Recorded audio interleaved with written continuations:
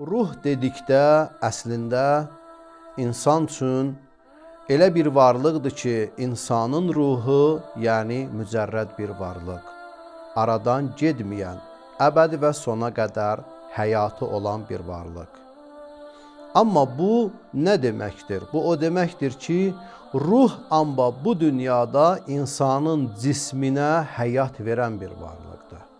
Bu dünyada bizim cismimiz, bədənimiz əslində ruh vasitəsilə həyatlanır. Yaşayışına davam edir. Əgər ruhumuz olmasa, bizim cismimizin heç bir faydası yoxdur.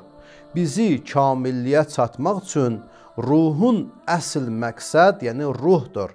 Ruhun kamilliyə çatması da cismə bağlıdır. Yəni əsl hədəf insanın həqiqəti ruhdur, amma o ruhun kamilliyə çatması üçün bu dünyada insanın cismə ehtiyacı vardır. Amma bu dünyada insan ömrü sona çatdıqdan sonra, insan dünyasını dəyişdikdən sonra insanın ruhu əbədi olduğu üçün insanın ruhunun həyatı davam edir, amma bu dünyada insanın ömrü sona çatdıqdan sonra bərzəx aləmində onun həyatı davam edir.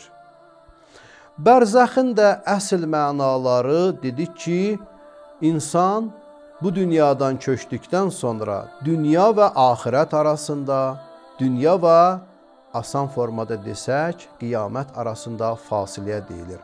Bərzəxə də bəzən qəbr aləmi də deyilir, misal aləmi də deyilir və bəzən də əsl məşhur adı isə bərzəx aləmidir.